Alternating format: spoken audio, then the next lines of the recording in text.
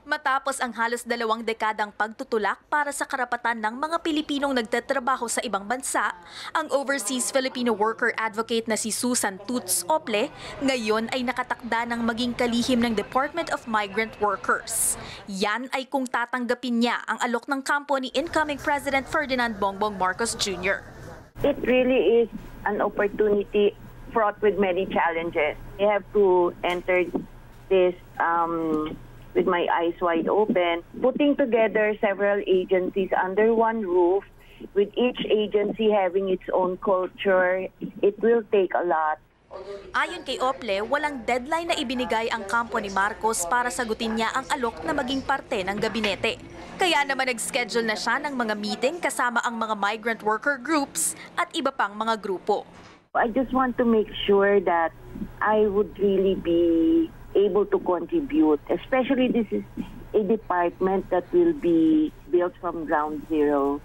Dagdag ni Ople, ikinatuwa niya nang sabihin ng kampo ni Marcos na iniaalok sa kanya ang posisyon dahil sa kanyang kwalifikasyon at hindi dahil matagal na silang magkakilala ng susunod na Pangulo.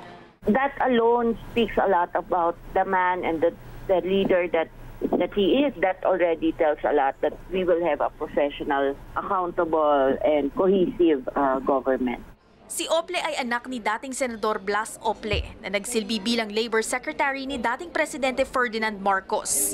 Nang pumanaw ang kanyang ama, itinatag ni Toots ang Blas Ople Policy Center and Training Institute, isang non-profit organization na tumutulong sa mga OFWs na nagkakaproblema habang nasa ibang bansa. Tumakbo si Ople bilang senador noong 2016, ngunit hindi pinalad na manalo. Sa kabila ng karanasan sa gobyerno at pribadong sektor, sinabi ni Toots na hindi madali ang desisyon na bumalik sa pagsisilbi sa administrasyon, lalo na't nagpapagaling siya laban sa stage 2 breast cancer. That will be ano, a lifelong concern. To be honest about it, whether I accept the job or I don't accept the job. That's why I'm also praying for his guidance. But definitely, I've always led a mission-driven life. Where God leads me, I'll, I'll be there, I'll follow. Kabilang sa mga issue na kakaharapin ng magiging DMW Secretary ay ang mas mataas na mandatory contribution ng mga miyembro ng PhilHealth at ang deployment ban ng mga bagong OFWs patungong Saudi Arabia. Mahirap may be an understatement. I have never been timid about pursuing a mission to help our OFWs. Parang panata ko na yun sa buhay. So whether or not I accept it, the mission and the fight continues. Katrina Domingo, ABS-CBN News.